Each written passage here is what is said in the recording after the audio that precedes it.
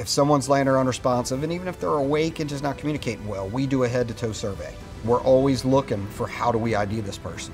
We're going to look for bracelets, necklaces, wallets and pockets, torso, chest, wrists, ankles. You know, if you have something like that on your person, that's going to make our job a lot easier.